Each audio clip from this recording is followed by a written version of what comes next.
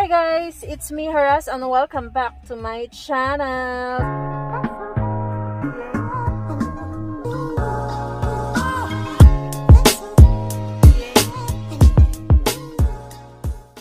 Uh, so, kung bago ka pa lang sa aking channel, so don't forget to like and subscribe and click the notification bell i-bell on mo na yan para updated ka sa aking mga videos. So, for today's video, guys, nakita niyo naman yung aura ko ngayon. para akong ewan. Kasi nga, sobrang lamig. My God. Sobrang lamig siya kasi nasa 6 degree yung lamig dito. Tsaka, andito lang ako sa sakyan kasi nga may heater. So, ngayon, uh, hinihintay ko yung kasama ko kasi nga, uh, nagpa-Xerox lang siya kasi may appointment siya for tomorrow. So, ito yung fuhang, guys. Yan yung building. Andito ako sa may, ano, sa may bus stop. Ayan, ayan, ayan, ayan, ayan, ayan. So, doon naman siya nagpapaserox. So, ito yung fuhang, guys. Ang tataas ng mga building nila dito. Ayan. Oh. So, yun nga, guys. Uh, papakita ko lang yung mga daan kasi nga wala talaga. Daan, papunta kami Taiwan later kasi bibili kami ng pagkain. So, kung interesado ka guys, just keep on watching. Bye-bye!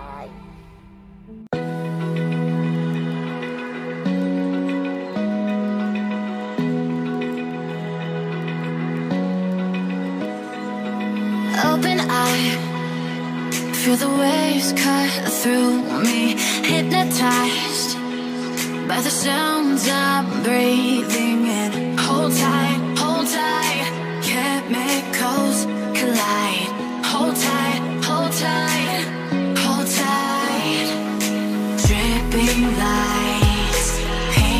sky.